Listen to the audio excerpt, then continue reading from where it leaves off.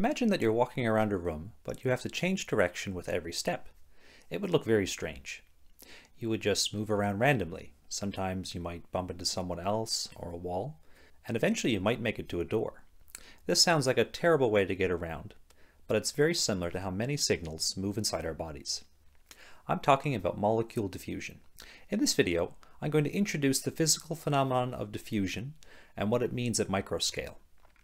By microscale, we're talking from about tens of nanometers up to about hundreds of micrometers. One millimeter is 1,000 micrometers, or 1 million nanometers.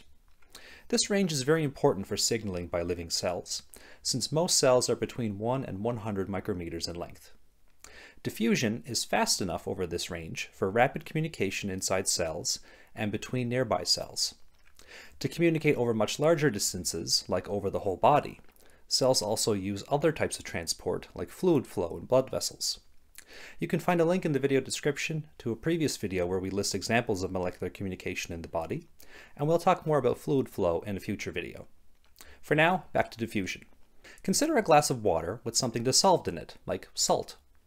Once it's dissolved, we can't distinguish the individual salt crystals. The salt particles have been separated from each other at nanoscale, and they're surrounded by water molecules. When the water molecules are in liquid or gas form, then they are all moving.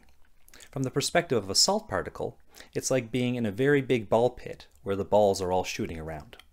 Now, can we describe the movement of a single salt particle? Its motion will be controlled by the water molecules.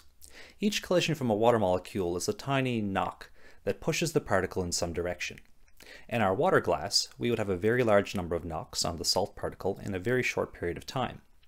The motion of the particle as a result of these collisions with water, or more generally collisions with any fluid, is called molecule diffusion.